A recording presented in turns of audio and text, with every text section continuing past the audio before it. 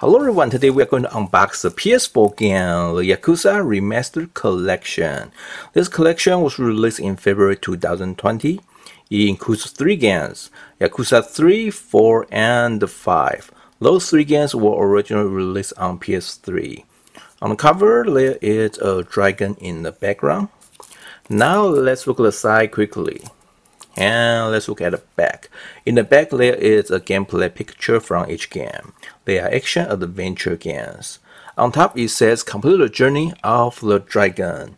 I actually played on Yakuza 4 on PS3. It's a fantastic game. I also played 5 but still do not finish it yet. All three games are remastered with 1080p and 60 FPS. Most importantly, they add previous missing contents back to this collection. Now let's look into some details. This is a 1 to 2 player game, require minimum 67 gigabyte hard drive space. There are two discs, and the game is PS4 Pro enhanced. Let's open to see what we have inside.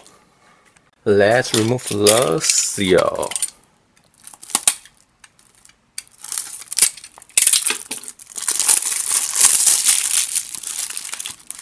Let's open the case.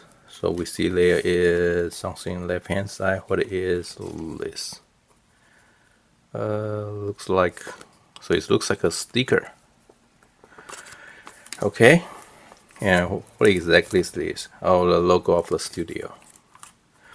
And now let's check the game disc. So the first disc, which includes Yakuza 3 and 4.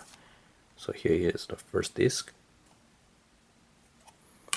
and the second disc which is Yakuza 5 and behind the cover is just warning information in two different languages so nothing really important.